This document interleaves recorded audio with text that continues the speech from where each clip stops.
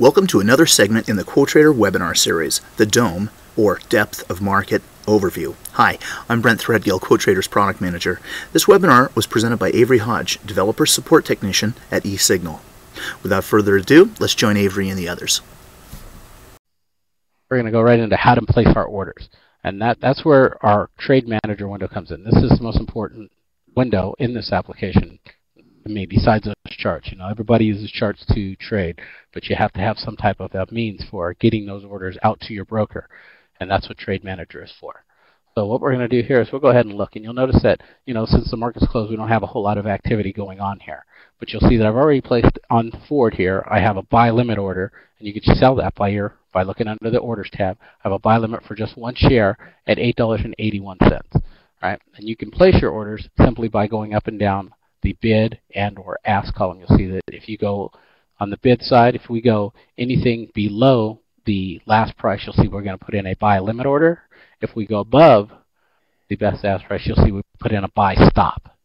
Right? And same as goes for under the ask or offer price, or if we go above the uh, best price, we're going to put in a sell limit, and if we go below it, we're going to put in a sell stop order to that in just a moment here, where you can look at those items. Okay, and while we have it open here, we'll go ahead and look. We have the order ticket, and what the order ticket does here is it gives us uh, a variety of different information, and we can preset these items in the defaults. So you have the order ticket, which allows us to do either stops, limit by or the limit or market price, what type of order this is going to be. In this case, it's going to be a sell. Uh, opens or closes. In this case, we're going to close, and it gives us the quantity in which we're going to be doing it on. Uh, we'll go into that in just one moment here. So then once again, um, and just underneath that, you'll see that we have the um, the five buttons at the bottom there. Reverse. reverses our position. So if we have a position we're already in the market, we see that it starts to go against us, we can reverse and try and pull money out by, uh, or I should say, gain more money in the in this party. We have an opportunity to buy at market. So quick buy at market brings up our, our order ticket, says market. It's a buy. We're leaving the open. Uh, quantity, we're going to do just one share. And since we're not doing uh, any type of limits or stops, you'll see those items are grayed out to us. There's no trailing stop. Uh, trade, we're going to do it as a day order, right? Um, oh, the other ones, contrast, none. We don't have any of the other information. So then we would go ahead and click submit. What that should do is it populates order. So there we go. And at this point, we should see on our window, order one this expires today, so and our, our order was placed. And you can see that once again in our information window as well as in our order window. You'll see that the order has been placed. Okay? So this just just so you can see the correlation of the different windows. Okay? So what we'll do here is we're going to go ahead and bring back up that order window here so that we can kind of discuss it. Down here on the bottom, you'll see that we can do brackets. So you can do stop losses. So when you place your order, you can automatically place a stop loss at the same time so that you can, instead of having to place another order later on and you don't know how quickly the market may change. So this is just a way that you can quickly set up uh, different things. You can also set it up so that um, you don't have to necessarily sit around and watch right? You can set it up to take profits. So you can place your order, get it in the market, then you don't have to sit around and, and wonder, you know, how long it's going to take for you to get to your, your target point and then get out. You can set it so you can set your target point and be on your way. And you can also set it up for both. So you can do a stop loss as well as the take profits, where you're setting up the profit. Uh, here, matter of fact, let's just really quickly, and you can do it. You know, as you can see here, if I set it for uh, stop loss for 10 ticks above, and you can also set it for 10 ticks below. It's totally up to you on, on, on where you set those pricings. And you'll notice that the price changes along with it for each one of the each one of the ticks. And understand these are ticks. So in the Ford, where ticks are pennies, that's what you'd be doing. So in this case, 21 cents. In the futures market, depending on how many ticks you do, it's going to be based on that price quantity. So, for example, the the Russell 2000 does its ticks in in 10 cents or in decimals of 10, one tenth. So each tick would be a tenth, and you can set it up that way so that 10 ticks obviously would be one point. So you could set it up for one point, two points, five points, 1.5 points, however many ticks you want to do. Do the same thing as well as on the profits. So if you set your profits for uh, 25 ticks, oh, I guess we should set our stop loss reversibly here. We don't want on. There we go. We want to be negatives right? Obviously, we're doing stop losses, and the only way you would go uh, positive is in this case where we're doing sales. So we're going to do negatives and positives based on how you're doing your sales so that you can get out of the market. We'll go ahead and cancel that out. Um, so those are some of the different bracket trades. And what I want to do here, and also you can notice you can set those brackets down here on the bottom as well.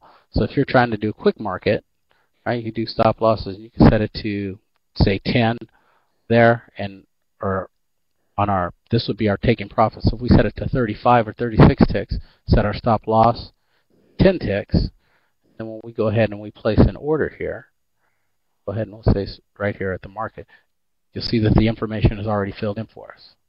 Right? So 10 would put us at 83, as 37 so it would take us up to 920. Right? So we place that order. There we go. You'll see that we have our our we have our order for one. You see we have our stop loss, our, our stop sell right down there on the bottom. And if we scroll up, you see that there we have we have our stop limit or sell limit up at 920. So this is a quick way that you can place orders and, you know, be more efficient, I guess, in your trading would be the best way to say that. And what we'll do is I'm going to go ahead and center this back up. Notice you have the center button and the freeze button on top, which allows you to, just as we did, if you get out of range of your of the center point or the, the last price, you can click center and it will center the last price back in the trade manager or the dome window. Freeze, this window is really cool. What it allows you to do is in a fast moving market, you want to place your order and try and get your order in, but it's moving too fast. You can freeze the market, place your order, and then unfreeze it, and it'll take you back. That way you can get into the market. You can set your pricing without worry of clicking on the wrong space because it might be going too fast. Uh, down on the bottom, as we were speaking before, we have the reverse in the market. We also have the market, so you buy, you basically buy in the market at the best market price. Uh, flatten, what flatten does is if you are in the in the market, and it just doesn't necessarily go for just this one trading manager window, but here you'll see I also have an order place for Cirrus here. Right, you see down here on the bottom where I have a place order for Cirrus as well as with Ford. And what the flatten does is we click flatten, what it will do is it closes out all positions that you have. Right? So any order it'll cancel any orders that haven't been filled and plus any orders that have been filled, you'll be closed out at market. So if we go back to Cirrus, you'll see that, I no longer have an order placed uh, for Cirrus. Thank you for your patience there. So uh, after the flatten, we have what they call market for sales. So you can you can either get out of market if you're in a position, or if you see that it's going, you see it's going down, you want to grab a piece of action there. You can click on market for uh, the ask price, and what it will do is what it will do is it will put you in the market as it's going down. So you got that the sell at market, which is good for either shorting or getting out of the market. We have a close price here, and what that does is for one particular market, so whatever instrument you're running in this particular trade manager, if you do close, it will close only that position. So like I said, where I had a position in Ford, I had a position in Cirrus. If I'm looking at Cirrus and I click close, it will only close out the Cirrus position while the Ford will continue to run. Okay. And then uh, down below that, you see we just discussed the bracket trades. And so you'll see that information down here on the bottom where you'll see your account, the symbol that you're, you'll see the buy or sell, the limits, what the quantity was, and you'll see the status of the orders. So all that information, which is the same as you would see under the order information, is all going to be, so once again, just where the correlation between the windows come together. And that would be, and those are the trade manager windows.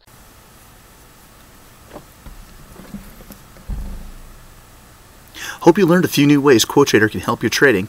If so, let us know. You can contact us directly by emailing trading at quote.com or visit us on the web at quote.com, where you can get QuoteTrader or just more information, including access to online help and our active community, Raging Bull. Remember, QuoteTrader is free, so install it today and find out how it can make a difference in your trading.